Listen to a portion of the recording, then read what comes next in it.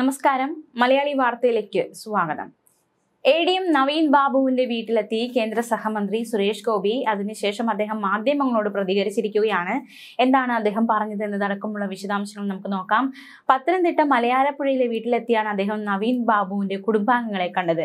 നവീന്റെ കുടുംബം നിലവിൽ യാതൊന്നും ആവശ്യപ്പെട്ടിട്ടില്ലെന്നും തന്റെ വരവ് ആശ്വാസകരമാണെന്ന് കുടുംബം പ്രതികരിച്ചതായും സുരേഷ് ഗോപി പറഞ്ഞു. മാധ്യമങ്ങൾക്കുള്ളതുപോലെ തനിക്കും സംശയമുണ്ട്. കഴിഞ്ഞ ഇരുപത്തിയഞ്ച് വർഷത്തിനകത്ത് കേരളത്തിലെ പമ്പുകൾക്ക് നൽകിയ എല്ലാ എതിർപ്പില്ലാ രേഖകളും പരിശോധിക്കുമെന്നും സുരേഷ് ഗോപി അറിയിച്ചു.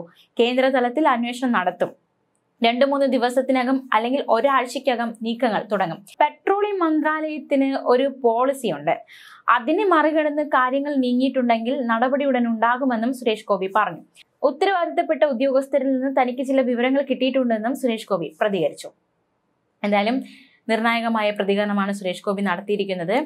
അതേസമയം നവീൻ ബാബുവിനെ യാത്രയിപ്പ് ചടങ്ങിന് ക്ഷണിക്കാതെ എത്തിയ കണ്ണൂർ ജില്ലാ പഞ്ചായത്ത് പ്രസിഡന്റും സി പി എം നേതാവുമായ P P Divya A D എമ്മിനെ മോശമായി ചിത്രീകരിച്ചിരുന്നു. എന്നാൽ ദിവ്യയുടെ ഈ നടപടി എതിർക്കാതെ കണ്ണൂർ ജില്ലാ കളക്ടർ അടക്കമുള്ളവർ നിശബ്ദരായിരുന്ന കാഴ്ചയൊക്കെ നമ്മൾ കണ്ടതാണ്. സംഭവത്തിൽ പി പി ദിവ്യക്കെതിരെ പത്തനംതിട്ട സി പി എം ജില്ലാ കമ്മിറ്റി രംഗത്തെത്തിയിരുന്നു. പക്ഷേ കണ്ണൂർ ജില്ലാ കമ്മിറ്റി വളരെ മൃദുവായ ഒരു സമീപനമായിരുന്നു ദിവ്യക്കെതിരെ സ്വീകരിച്ചത്. അതേസമയം A D M Naveen Babu തന്നോട് കൈക്കൂലി ചോദിച്ചിട്ടില്ലെന്ന വെളിപ്പെടുത്തലുമായി റിട്ടയർഡ് അധ്യാപകൻ ഗംഗാധരൻ രംഗത്ത് വന്നു.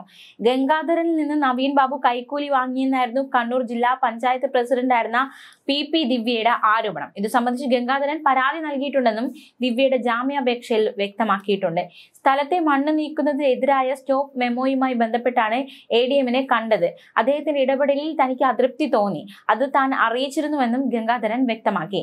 എ ഡി എം അധികാര ദുർവിനിയോഗം നടത്തിയെന്ന് താൻ പറഞ്ഞതായും ഗംഗാധരൻ സമ്മതിച്ചു. എന്നാൽ കൈക്കൂലി ചോദിച്ചുവെന്ന് താൻ പറഞ്ഞിട്ടില്ല എന്നാണ് ഗംഗാധരന്റെ പ്രതികരണം.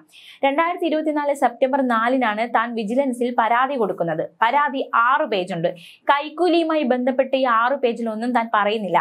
കൈക്കൂലി ചോദിച്ചെന്ന ദിവ്യയുടെ വാദം തെറ്റാണ്. പരിഹരിക്കാമായിരുന്നിട്ടും നവീൻ ബാബു ഫയൽ സംബന്ധിച്ച കാര്യത്തിൽ നീതി കാട്ടിയില്ല. ഒരു ഫോൺ വിളിച്ച് പരിഹരിക്കാവുന്ന പ്രശ്നമേ ഉണ്ടായിരുന്നുള്ളൂ എന്നതടക്കമുള്ള ഒരു പ്രതികരണമാണ് ഗംഗാധരൻ നടത്തിയിരിക്കുന്നത്. Kannur additional district magistrate Naveen ബാബുവിനെ ഒക്ടോബർ പതിനഞ്ചിന് രാവിലെയാണ് കണ്ണൂർ പള്ളിക്കുന്നിലെ ക്വാർട്ടേഴ്സിൽ തൂങ്ങി മരിച്ച നിലയിൽ കണ്ടെത്തിയത്. ജില്ലാ പഞ്ചായത്ത് പ്രസിഡന്റ് പി പി ദിവ്യയുടെ അഴിമതി ആരോപണത്തിന് പിന്നാലെയായിരുന്നു അദ്ദേഹത്തിന്റെ മരണം. തലേ ദിവസം നടന്ന യാത്രയപ്പ് ചടങ്ങിനിടെയായിരുന്നു ദിവ്യ ആരോപണങ്ങൾ ഉന്നയിച്ചത്. പെട്രോൾ പമ്പിന് എൻ ഒ സി നൽകാൻ എ ഡി എം വഴിവിട്ട നീക്കങ്ങൾ നടത്തിയെന്നായിരുന്നു പി പി ദിവ്യയുടെ ആരോപണം. ഇതിന്റെ വിവരങ്ങളെല്ലാം തന്റെ കൈവശമുണ്ടെന്നും ആവശ്യമുള്ളപ്പോൾ താനത് പുറത്തുവിടുമെന്നുമായിരുന്നു ദിവ്യയുടെ വെല്ലുവിളി.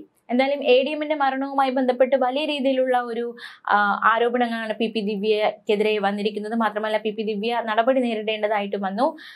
നേതാക്കന്മാരെല്ലാം അദ്ദേഹത്തിന്റെ എ ഡി എം നവീൻ ബാബുവിന്റെ വീട് സന്ദർശിക്കുന്നുണ്ട്. ഇപ്പോൾ കേന്ദ്ര സഹമന്ത്രി സുരേഷ് ഗോപി സന്ദർശിച്ചിരിക്കുന്നു. ഇന്ന് തന്നെ സി പി എം സംസ്ഥാന സെക്രട്ടറി എം വി ഗോവിന്ദൻ വീട് സന്ദർശിച്ചിരുന്നു. മറ്റ് നേതാക്കൾ അടക്കമുള്ളവർ വീട് സന്ദർശിക്കുന്നുണ്ട്. ന്യൂസ് ഡെസ്ക് മലയാളി വാർത്ത.